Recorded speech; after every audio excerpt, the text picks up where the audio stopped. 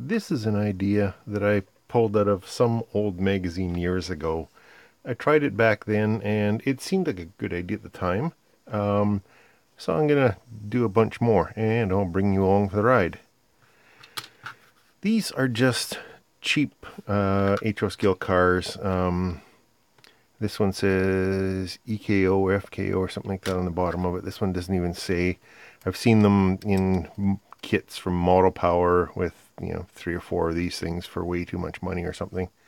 They're okay as background cars, I guess. I don't know. They they look kind of what do we got here? Mid 70s, which is perfect for my era.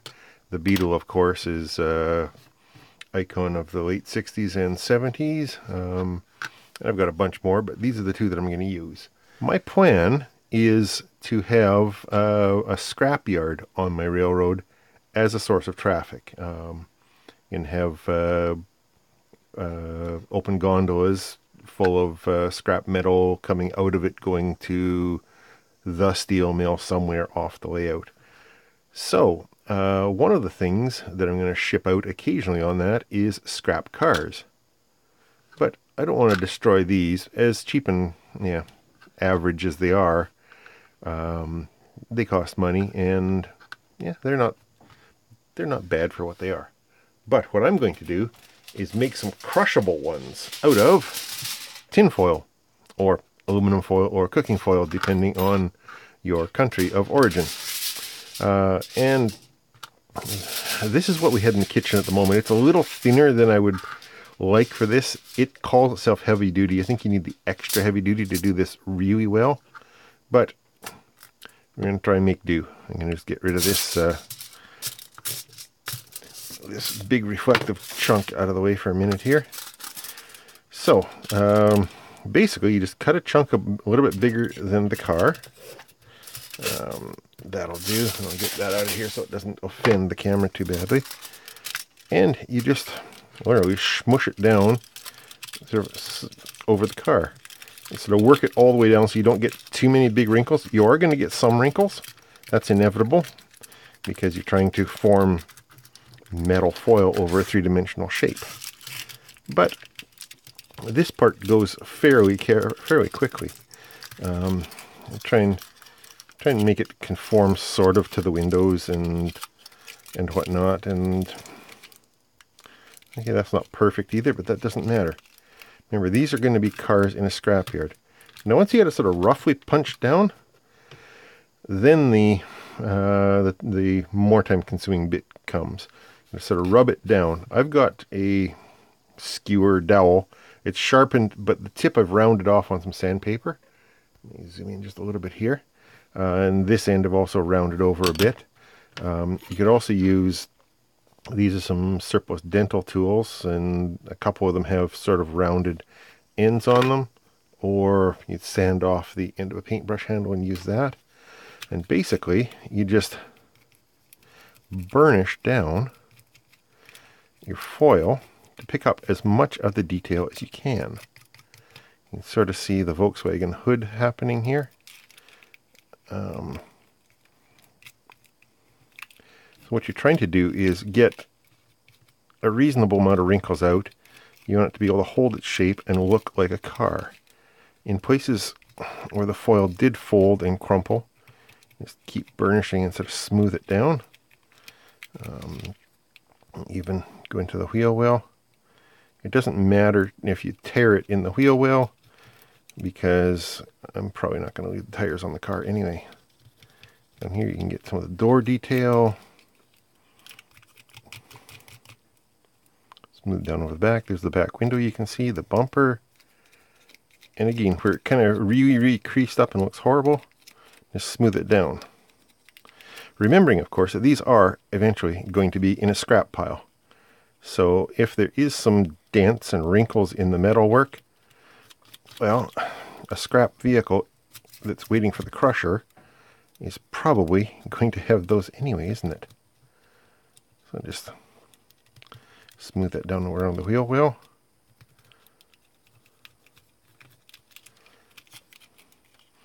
Okay, so that's obviously a VW Beetle, isn't it?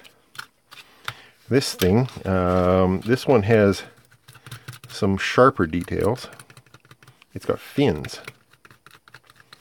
So again, we'll just smooth it down. And you can see where it's sort of crumpled over the door there. If you do some of that, that sort of smooths it out enough. And you can fold it underneath to get the excess out of the way. That's not a big hairy deal. We'll deal with that later. Let's try this dental tool just for the fun of it. Smooths it out pretty well. I don't think it matters if you use the smooth side or the rough side of the foil. I've got the the less shiny side out in this case, at least partially so I don't blow the camera's uh, optics out, but also just because in the later stages it's going to get painted and I think it'll take the paint a little bit cleaner.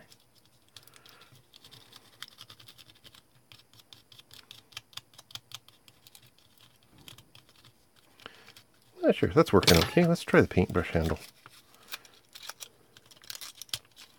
Yeah, actually, I think the softer things, like the wood and the plastic, work better.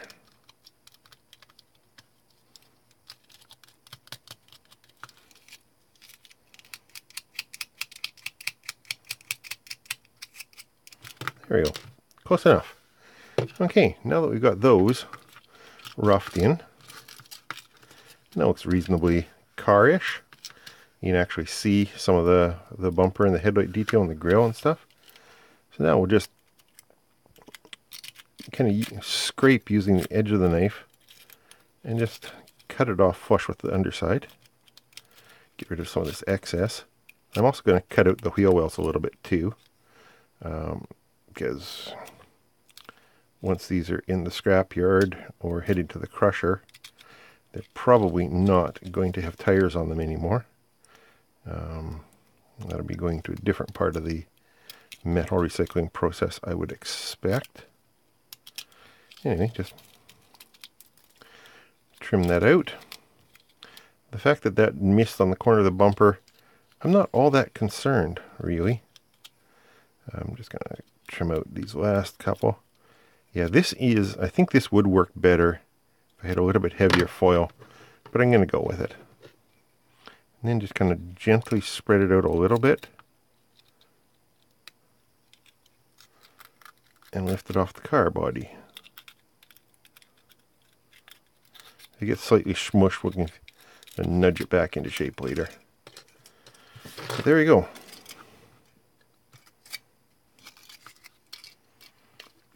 one Volkswagen. Massage that bumper underneath a little bit there. There we go. Now I'll just, I'll finish that one up and through the magic of editing, or things I made earlier, there's a couple more, and I've got some other ones kicking around here too. So the next step is to give these some paint so they don't look quite so bright and shiny. So I'm getting ready for painting these things had to figure out how to hold them and I think this is going to work.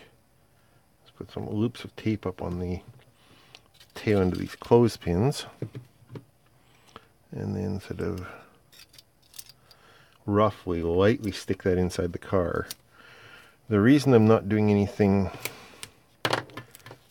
too uh, too fancy, one because I just don't do fancy too much, uh, but the real reason is that I don't want to put too much pressure on these things and I don't want them to blow away in spray paint because I'm going to be spray painting them. Um, so that's why we need to hold them on here like this. And I think this will do. I'm not pushing them down hard because I don't want to shred them taking them off. But I think that'll be enough. Okay, let's find a place to paint these guys now. And the place to paint them is at my other workbench. Um, so I've just got some paper laid down, got this out here, and the paint du jour is oxide primer, which is a reasonable approximation for rust, so that makes it the base coat.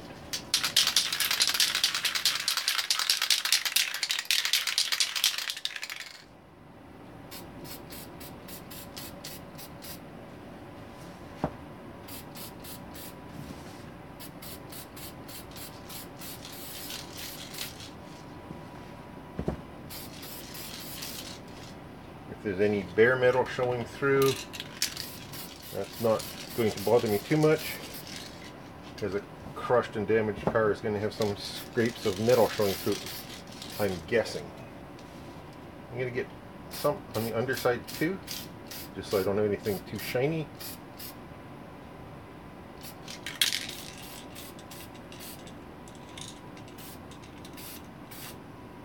There, done. All there is to that. Now, the most time, con time consuming process of the whole thing. Waiting for paint to dry. Do you want to watch that? Didn't think so. Okay, it's a couple hours later. The paint is dried. Now let's see if I can get this tape off here without completely destroying. That's not so bad. Well, that's all right. I'll just quickly untape these and carry on with the next step. Those look like ridiculously rusty old beat up cars. Good. So the next step is to make them look like they had some normal paint on them at one point. Um, I'll get another, eh, I'll just keep using these cups I guess. Um, and there's a few different ways that you can do this, of course, because there's a few different ways you can do anything. Uh, let's see if this kind of yellowy, oh, that's way too much. The label calls it buttercream. Um, I'm just going to make up a little wash here quickly. Um, which is basically just thinned out paint. Uh, it's not water thin, but it's I don't know, somewhere between milk and pancake syrup, I guess. I don't know. We'll see what happens. I may thin it out, not sure. I suppose I could have left it on the on the uh, holders, couldn't I? So I'm wanting some of the rest to show through. And yes, I'm painting right over what should be glass. Not too bothered. But I just need to make this look, okay, that's going to work pretty well. And if there's bits of rust showing through, doesn't matter too much. These aren't foreground models. You've heard me say that before on just about everything I do. But what is your foreground models? I don't know yet. Um, I guess the uh, the locomotives and the and the freight cars. But none of these are going to be contest quality because I just don't care about that kind of thing. Okay. Done. One rusty old yellowish colored car. Quickly clean off my brush. More or less.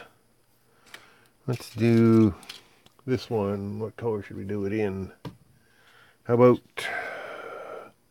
what is that? Real blue, it says.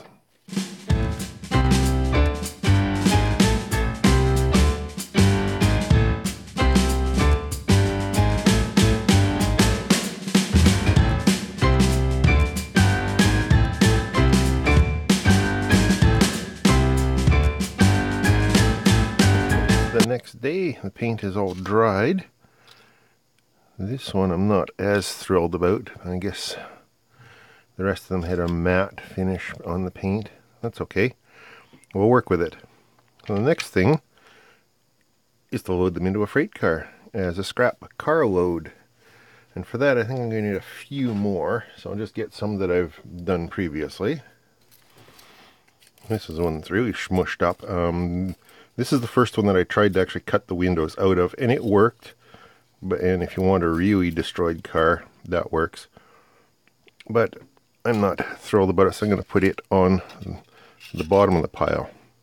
And essentially, I'm just going to stack them up. Maybe I'll put that one in the middle, a beetle on the top of that pile. Sort of like that. Mean, that's sort of how it's going to look, I guess. Okay, let's tip those guys back out because no railroad's going to ship something like that without strapping them together somehow. And you could use any number of things. You could use the miniature chain, which I think you've seen me use previously. Um, but I think I'm going to try strapping them down with the Chartpak tape, which ends up looking in scale, kind of like steel banding. I've got a bunch of it that I bought from a, an art supply place that had them on sale for uh, buck eighty minus half price when I actually bought them. Um, I've got them in a couple of different sizes, but I am going to use this one that I have been using already. I'll just pardon my giant fingers here. Just reel off a chunk. And where's my pile of cars? That'll do. Just cut it off. And it's uh, it's tape. It's adhesive on one side. So attaching it's not that difficult. I'm basically just going to wrap it around and stick it to the underside. And where's something scissory here?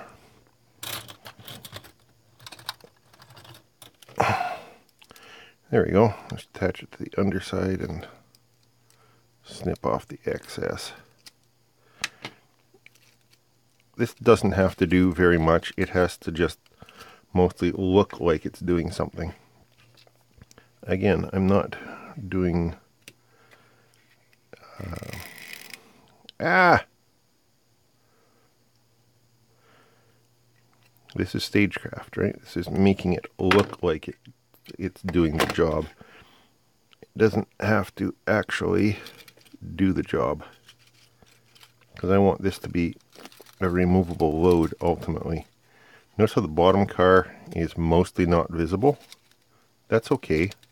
That's, I put the one that's the most trashed and has the least detail on the bottom. So then just put it in there, and there's something obviously holding it together. I'll just quickly do the other ones, and uh, and that's it for this wee project. So there we go. There's uh, there's the cars loaded in to the scrap gon, and a few more waiting in the background to be loaded, and off to the crusher and the mill, I guess somewhere off the end of the railroad. Hoped you enjoyed that, or at least found it interesting, gave you some ideas. Um, like I said at the beginning, this isn't my original idea. I swiped it from a magazine that was decades old when I first saw it, probably 20 years ago. Feel free to uh, borrow, adapt, modify. Um, if you use this for your layout, uh, put a link down in the description and share it with everybody else. I'd love to see it. Thanks again for watching. I will talk to you later.